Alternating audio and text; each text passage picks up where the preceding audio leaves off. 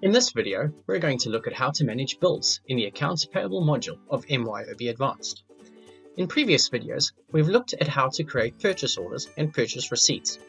Both of these allow you to create a bill directly from the record entry screen. In the purchase order screen, select Enter AP Bill from the Actions menu to create a bill containing billable lines from the purchase order. The line type for each line determines whether or not it can be sent straight to a bill. Some items, such as those with the type of goods for in, must be received before they can be billed. In these cases, you need to create a purchase receipt for the order and create a bill from the receipt. As with purchase orders, the purchase receipt screen has an Enter AP Bill option in the Actions menu that creates a bill and takes you to the Bills and Adjustments where you can edit and process it. You can also create a bill manually on the Bills and Adjustments screen.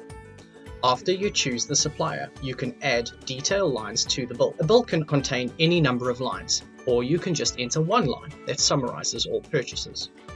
There are also options to add the lines from a purchase receipt or a purchase order.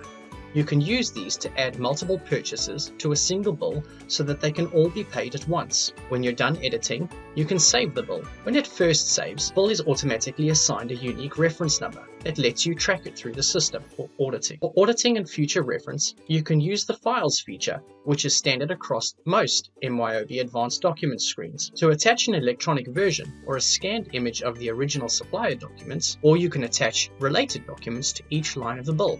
You can also create a recurring payment by adding the bill to a schedule. This can be useful for regular payments like rent. Depending on how your business process is set up, the bill may need to be approved before it can be processed further. Once the bill is completed and approved, you can release the bill for payment, updating the accounts payable module and your balance with the supplier. You can pay the bill directly from the Actions menu or as part of a larger payment process. We look at this in a later video. That's the end of our look at processing bills in MYOB Advanced. Thanks for watching.